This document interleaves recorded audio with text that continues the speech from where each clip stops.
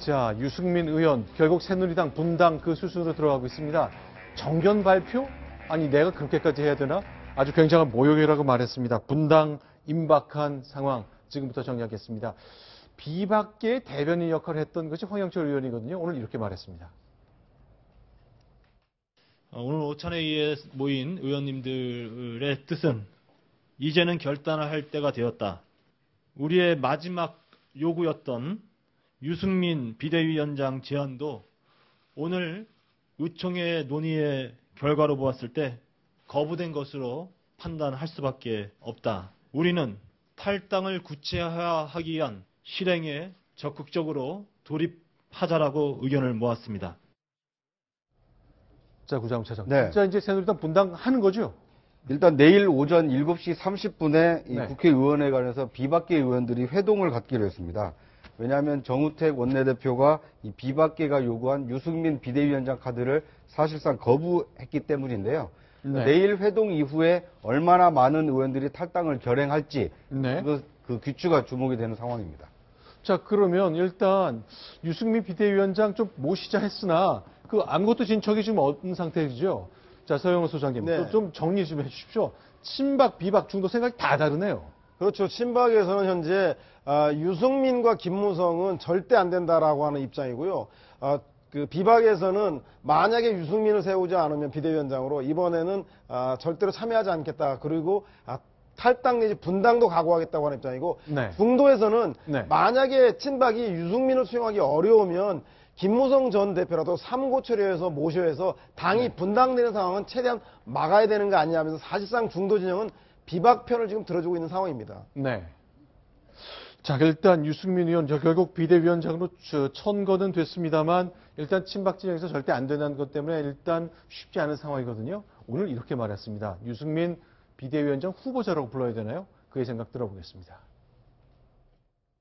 비대위원장을 뽑는 과정이 무슨 경선을 하는 것도 아니고 저한테 뭐 무슨 정견 발표를 요구하는 것은 최소한의 예의도 없는 일이라고 생각합니다. 비대위원장 선출을 만약 경선으로 가겠다면 뭐 거기에는 응하겠습니다. 친박이 추천하는 후보하고 제가 토론도 하고 정견 발표도 하겠습니다. 그렇게 하실 의향이 있으면 그렇게 하시고 안 그러면 그런 무례한 발언 안 해줬으면 좋겠습니다. 아, 그거는 아직, 아직 못 들었습니다만은. 예, 저도 의원님들하고 충분히 고민을 해보겠습니다. 예. 예, 그 부분에 대해서도 충분히 대화를 하고 있습니다. 그러니까 김무성 대표님하고 직접 하는 건 아니지만 충분히 이야기를 하고 있습니다. 예. 무례하다? 그건 왜 그런 겁니까? 어떤 상황이 있었길래 저런 무례, 이렇게 무례한 요구를 나한테 하느냐 얘기하는 거죠. 네. 이 정진석 원내대표가 이제 비박계에서 유승민 비대위원장 카드를 제안하지 않았습니까? 네. 그러니까 이제 그걸 뭐 찬반을 의원총회에서 논의하자 이렇게 얘기한 게 아니고요. 네. 의원총회를 열 테니까 비대위원장 후보자 자격으로 유승민 의원이 참석을 해서 앞으로 비대위원장이 되면 당을 어떻게 바꿀 건지 정견을 좀 발표해봐라. 그러면 그 얘기를 듣고 의원들이 판단을 해서 비대위원장을 줄 것인지 말 것인지 결정하겠다. 이렇게 얘기를 하니까 이것이 무슨 뭐 비- 유승민 그 의원 입장에서는 무슨 비대위원장 경선하는 것도 아닌데 네. 와서 정견을 발표해라. 이렇게 얘기하는 것은 무례한 거 아니냐. 네. 이렇게 지금 반박을 하고 있는 겁니다. 정견을 발표해라. 당신 생각을 듣고 싶다라고 친박이 요구한 건 왜 그런 겁니까? 좀 순치시켜서 고분고분하게 만들겠다 그런 겁니까? 아, 제가 볼 때는 그 원래 대통령 탄핵에 대한 책임론 때문에 친박이 탄핵 가결까지만 해도 궁지에 몰렸다가 원내대표 선거를 하면서 이것이 탄핵 찬성이냐 반대냐고 하는 상식과 비상식 그리고 80%의 찬성, 네. 찬성을 탄핵을 찬성하는 사람과 20%를 탄핵을 반대하는 이 여론을 친박과 비박의 개파 싸움으로 만들면서 그 정우택 원내대표 선거에서 이기면서 바로 제가 볼 때는 친박이 기세를 잡고 비박에 대해서 군기를 잡겠다라고 하는 그 본격적인 그, 그 생각을 드러낸 것 같다는 생각이 듭니다. 그래서 현재 있어서 어, 비박, 비박을 사실상 친박에서는 함께 할 수 없는 세력 하더라도 네. 충분히 무릎을 꿇긴 다음에, 꿇린 다음에 그래서 길들이고 나서 함께 당을 운영하도록 하- 운영할 때 하더라도 이번에는 비박에게 무릎 꿇을 수 없다라고 하는 강한 의지를 보기 때문에 지금 현재 남아있는 최 카드는 실제로 비박이 김문성과 유승민 의원이 동시에 탈당할 수밖에 없는 그런 상황으로 내몰리고 있다라고 분석하는 게 옳을 것 같다는 생각이 듭니다. 네. 그러니까 이제 유승민 의원이 그 비대위원장 그 제안 직전에 이런 얘기를 하지 않았습니까? 전권을 주는 이 비대위원장이라면 수락하겠지만 그런 것이 아닌 뭐 찻대고 포대는 뭐 그 이런 비대 어정쩡한 비대위원장이라면 이또 네. 그 비대위원장을 수락하지 않겠다 이렇게 얘기를 했는데 그럼에도 불구하고 이 정우택 원내대표가 아 일단 당신의 생각이 무엇인지 궁금하니까 와서 의원들한테 설명을 해봐라 그 설명을 듣고 결정을 하겠다 이렇게 얘기를 이제 하니까 이 당사자인 유승민 의원은 좀 뭐 무리하다고 하면서 좀 반발을 하고 있는 상황입니다. 네, 정말 세월이 짧은 겁니까? 자, 지금 저 장면은 총선 때 하얀색 자켓을 입었거든요. 무소속입니다. 공천 못 받아서 거의 쫓겨나다시피 했던 그거든요. 그렇습니다. 뭐 동료 의원들이었던 새누리당 다른 의원들도 저 지역구에 가서 어, 지원 유세를 하거나 이런 일이 없었고 저렇게 흰 옷을 입은 무소속 후보들끼리만 서로 품앗이를 해서 유세를 마치고 어, 일부만 살아서 다시 새누리당으로 돌아온 상황인데 저렇게 어려움을 겪고 돌아왔고 자신의 생각이 무엇인지 당을 어떻게 개혁해 나갈 것인지 여러 차례 밝혀왔음에도 불구하고 정견을 발표해봐라 이렇게 말하는 것은 비박, 비박 쪽에서 친박들에게 책임을 묻지 않겠다. 그러니까 누구의 잘잘못을 따지지 않고 우리는 포용과 융합으로 가야 됩니다. 이런 말 한마디 해주기를 친박에서는 간절히 원하고 있었던 것이죠. 네. 그런데 내가 무슨 얘기 할지 다 알면서 나보고 이런 얘기를 하라고 이런 화가 네. 났겠죠. 자, 실제로 이제 친박의 김태흠 의원 얘기 들어보면요. 아예 이제 유승민 체제 뭐 상상하기도 싫은 것 같습니다. 천건을 해달라 그랬으나 수용은 도저히 못하겠다는 상황인데 이렇게 말했습니다. 소개합니다. 찬반이 있는 것 같은데요. 당내 분열을 그 선대에서 야기시킨 분이 어, 비대위원장 하면은 주류 쪽에서 수용 가능성을 내비친 분도 계신가요? 음, 글쎄요, 그건 거의 없는 것 같은데. 그 얘기를 해요. 네. 자, 그럼 이 상황을 좀 정리를 좀 해주십시오. 아, 네, 지금 그 방금 속보가 들어왔는데 네. 유승민 의원이 아까 채널에 자막에도 나왔었는데 네. 만약에 친박에서 어, 비대위원장 경선을 한다고 하면 난 네. 참여하겠다. 그리고 친박 후보와 아, 유세 대결을 펼쳐서 그 중앙위원으로부터 선택을 받겠다라고 얘기를 한 것 같습니다. 아, 이렇게 되면 좀 상황이 좀 복잡해지는데 아, 제가 볼 때는 유승민 의원은 탈당을 하지 않기로 결정을 한 건 아닌가. 결국 그래서 비박이 탈당하는 경우는 김무성과 김무성 개 의원들만 탈당하게 된다면 네. 탈당의 규모가 생각보다 좀 작아질 우려가 있고 유승민 의원은 비대위 경선에 참여하겠다는 건 결국 당에서 당선하든 떨어지든 간에 네. 새누리당 내에 남아서 당을 개혁하는 쪽으로 정리한 건 아닌지 조금 더 그 상황을 좀 지켜봐야 될 것 같은데 이렇게 되면 비박의 탈당 규모가 상당히 줄어들 우려가 상당히 높은 것 같다는 생각이 듭니다. 네. 일단 이제 내일 오전에 비박계 의원들이 회동해서 이제 네. 탈당을 결의할지 겨- 탈당을 결의한다면 몇 명의 의원들이 탈당할 것을 이 결의하는지를 좀 지켜봐야 되는데요. 저 경선 참여라는 것은 아무래도 유승민 의원이 바로 탈당을 그 결심하기보다는 당내에서 한 번더 이, 이 뭐랄까요, 이 경선을 통해서 의견 수렴하는 이 절차를 밟겠다. 이런 이 절차적 민주주의를 통해서 이 비대위원장이 전권을 갖겠다. 이제 이런 의지를 좀 밝힌 것으로 이해할 수 있을 것 같습니다. 근데 지금 비박계가 탈당을 네. 요구함, 아니, 탈당으로 이 친박계를 압박하고 있는 것은요.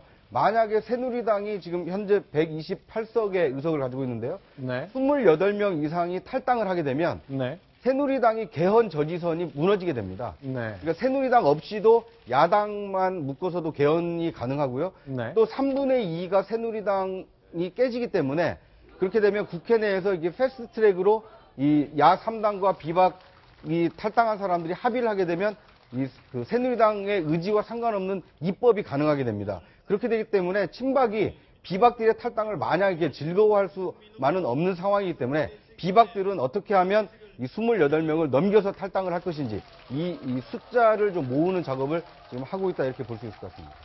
자, 유승민이 안 되면 김무성이라도 하는 것 이제 정진석, 이주영 뭐 이런 의원들이 그런 생각을 갖고 있거든요.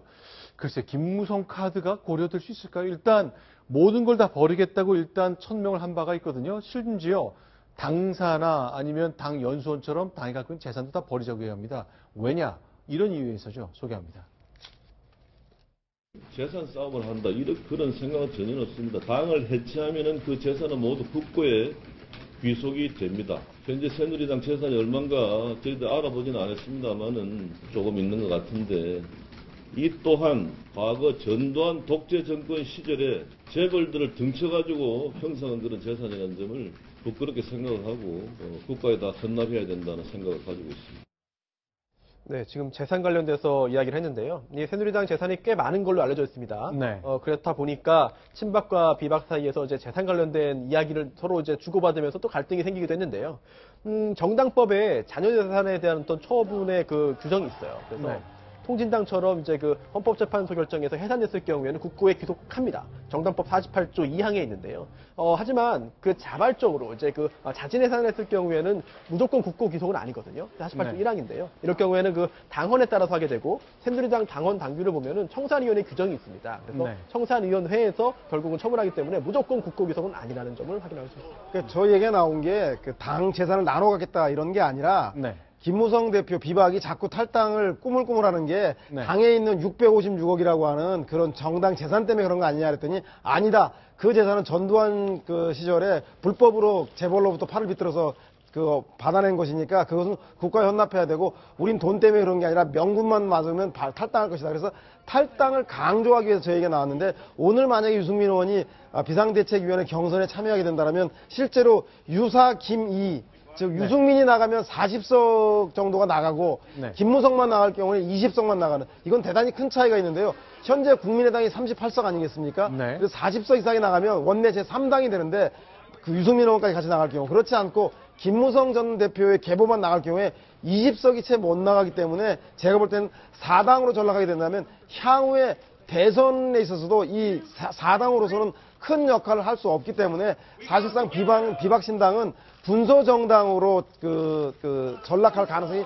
매우 많기 때문에 유승민 의원의 거치 여부가 향후 비박신당의 가장 중요한 아, 그 시금석이 될 텐데 지금으로서는 상당히 어, 유승민 의원의 얘기가 비대위원장 경선에 나간다는 것은 잔류를 선언하는 건 아닌가 그렇게 해석할 대목으로 보이, 보입니다. 유사 김이 그런 말을 요새 쓰는군요. 네네. 유승민 의원이 나가- 탈당하면 40명이 따라 나가고 김무성 대표만 나가면 20명 정도만 탈당할 것이다. 그런데 이제 이 서영우 소장님은 이제 그렇게 말씀하시지만 실제 새누리당 의원들은 네. 그렇게 많은 수가 탈당하기가 쉽지 않다라고 봅니다. 네. 왜냐하면 그때 대통령 탄핵이냐, 탄핵 찬성이냐, 반대냐를 할 때도 실제 비박계 의원들이 모일 때 40명 넘게 모인 적이 별로 없거든요. 네. 겨우 이제 30명 가까이 모였었는데 탈당을 결행한다 하더라도 30석 언저리. 네. 그리고 만약에 유승민 의원이 잔류를 선언하게 되면 김무성 전 대표를 따라 나갈 의원은 20명이 되기가 좀 어렵다. 이런 관측이 많습니다. 왜냐하면은요. 총, 그 안철수 의원의 경우에는 탈당을 결행했을 때 총선을 다섯 달 앞두고 탈당을 했기 때문에 이제 총선 공천권이라든지 네. 그다음에 바로 국회의원의 어떤 그 정치 생명의 연장이 그 연동이 됐기 때문에 많은 의원들이 탈당을 결행할 수 있지만 지금의 경우에는 대통령 선거를 앞두고 있거든요. 네. 대통령 후보로 출마할 사람에게는 직접적인 이해관계가 있지만 지금 국회의원들의 경우에는 앞으로 3년 반 뒤에 있을 총선이기 때문에 지금 거취를 잘못 결정했다가 자칫 그 탈당을 했다가 이 보수 유권자로부터 그 새누리당을 저버린 국회의원 이런 낙인이 찍히게 되면 3년 뒤에는 대선 이후 상황이기 때문에 유불리를 지금 판단하기가 어렵거든요. 그러니까 유불리를 판단하기 어려울 때는 가만히 있는 게 중간이라도 간다. 이런 것이 새누리당의 어떤 중립적인 의원들의 인식이기 때문에 물론 뭐 당내에서는 비박계가 그- 금방이라도 탈당할 것 같지만 실제 의원들을 개별적으로 만나보면 상당히 좀 신중한 반응을 보이고 있습니다.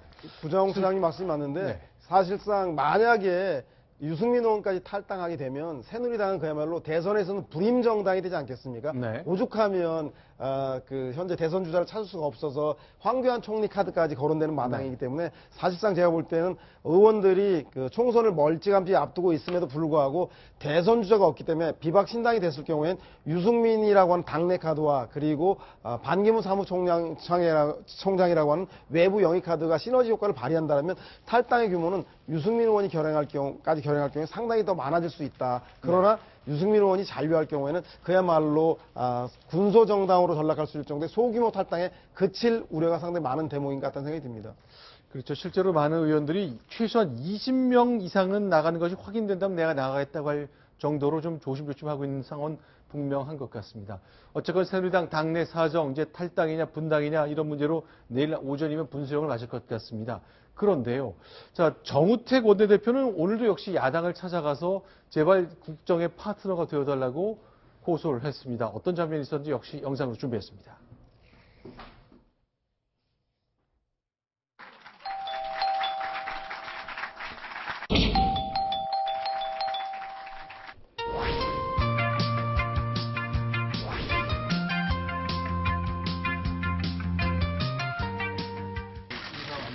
오늘은 면담 저희가 곤란합니다. 제가 왔다 갔다 하는 얘기를 좀 해주세요. 예, 예.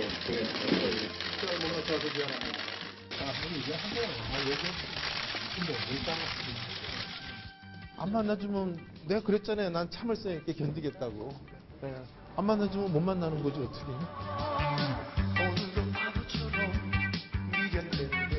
문전 박대를 당하러 갑니다.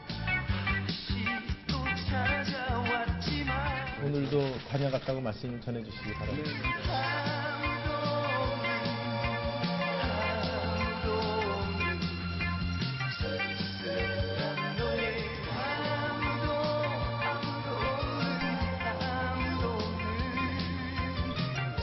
내가 한 일주일만 냉각기를 갖자 그렇게 말씀드렸는데 문전박 대 코스프레를 하신 거죠. 좀 결례 아니냐 이런. 자, 어떻습니까, 이동욱 제자? 예, 우상호 민주당 원내대표도 말한 것처럼 일주일 정도는 냉각기를 갖자라고 분명히 말을 했지 않습니까? 그리고 네. 그 이전에도 친박 계열이 당선이 원내대표로 당선이 되면은 우리는 대화 상도로 인정하지 않겠다라고 분명하게 밝혔던 상황에서 계속해서 찾아가는 것은 누가 봐도 결례인 측면이 있고 굳이 저렇게 해서 자꾸 찾아가려고 한다면은 야당과 대화를 하기 위한 뭔가 선물 하나 정도는 들고 갔어야 되는데 아무것도 없이 그저 내 인사를 좀 받아주세요라고 해서 연거푸 찾아다니는 것은 어, 야당과 협상에서도 그 국민들이 보기에도 썩 좋은 모습은 아닌 것 같습니다. 저는 이제 그 국민을 위한 그이 문전박대가 아니고요. 네. 새누리당 지지자와 네. 친박 지지자들을 향한 내가 이렇게 노력을 하는데 야당이 나를 계속 문전박대 하고 있다. 나는 열심히 네. 노력하고 있다. 이걸 이제 보여주기 위한 좀 행위인 것 같고요. 네. 지금은 사실 국회에 그렇게 큰 현안이 없습니다. 22일로 예고되어 있는 그 5차 이 국조 특위 정도가 어떻게 남아있는 그 국회 일정인데 네. 지금은 그 만나서 여야 간에 그 협의를 해야 될 사안이 있는 게 아니거든요. 네. 대통령 탄핵이 어떻게 결정이 될 건지 또 이제 내년 그 대정부 질문 이후에 내년 그 국회 일정을 잡으려면 앞으로 이 국회 임시국회가 끝나야 되거든요. 네. 그러니까 이제 정우택 원내대표의 저런 뭐 만나려고 하는 노력 자체는 뭐 가상하지만 좀 실익이 없고 너무 좀 보여주기식 이 문전박대 아닌가 하는 생각이 좀 그런 생각을 지울 수가 없습니다. 알겠습니다. 자, 이제 여당 얘기를 좀 정리를 해봤고요. 야권 얘기를 좀 해보겠습니다. 역시 문재인 전 대표를 중심으로 야권의 정치적인 이야기가 돌아가고 있습니다. 순위 먼저 확인합니다.